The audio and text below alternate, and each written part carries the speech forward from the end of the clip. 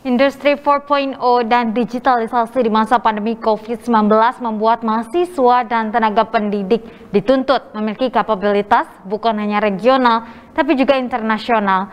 Karenanya, salah satu perguruan tinggi di Bandung berupaya memulai kelas internasional bagi mahasiswanya.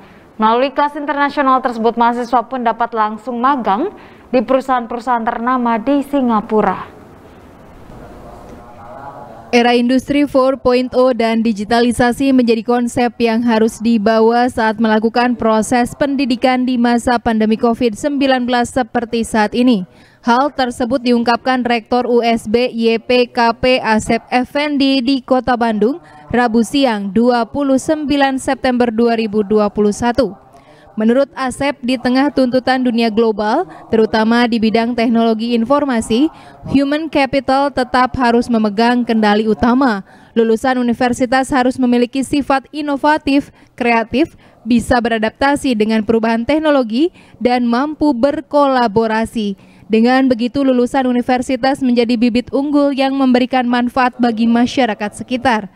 Karenanya, pihaknya berupaya memulai kelas internasional yang dilakukan secara hybrid dengan universitas di Singapura.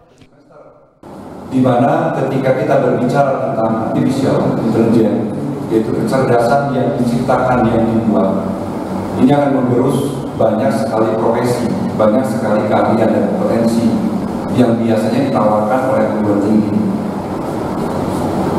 Dalam konsep ini, human capital tetap harus memegang kendali utama dari perubahan ini. Seperti kita inginkan generasi muda kita, generasi muda unggul ke depan. Bangsa ini akan menang ketika perguruan tinggi concern dalam membangun SDM unggul.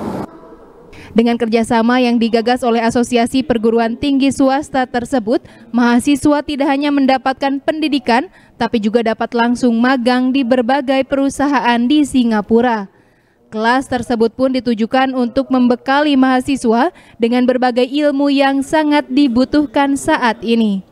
Budi Hartati, Bandung TV.